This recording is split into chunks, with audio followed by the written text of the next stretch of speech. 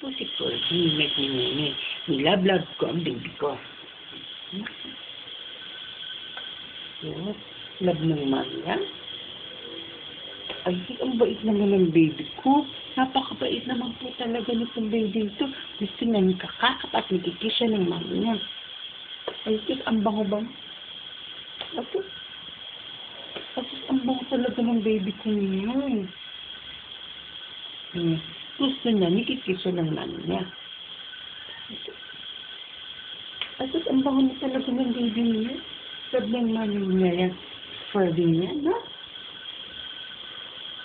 Asus, nikikis naman. Asus, asus, ang bango naman talaga. Hmm. Furby?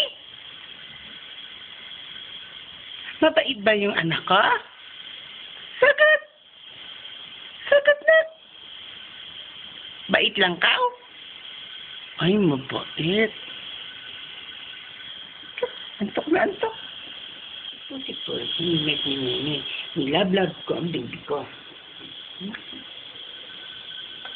Yes, love ng mami yan. Ay, ang bait naman ng baby ko. Napakabait naman po talaga nitong baby ito. Gusto niya ng kakakap at nagkikis siya ng mami niya.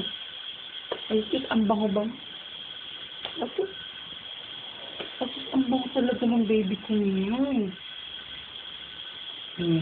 Gusto niya, nikikis siya ng mami niya. Asus, ang bango na talaga ng baby niya. Sabi ng mami niya yan. Furby niya, no?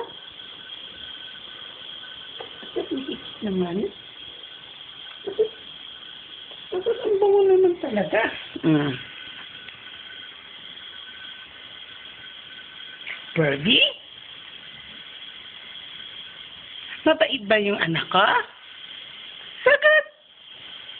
Sagot na! Bait lang ka? Ay, mabait. Antok na antok. Love ng Furby mami niya? Ah, babe? Love mo mami mo? Ha, Furby? Sagot na. Ay, sus. Love mo mga tibebis mo? Ha? Sagot. Ay, sus. Ang bait-bait naman yan. Hmm. Machit na machit ka bang baby? Ay, sus. Hindi na masakit ang pikpik mo. Ha? Sagot. Hindi na masakit ang pikpik ng Furby?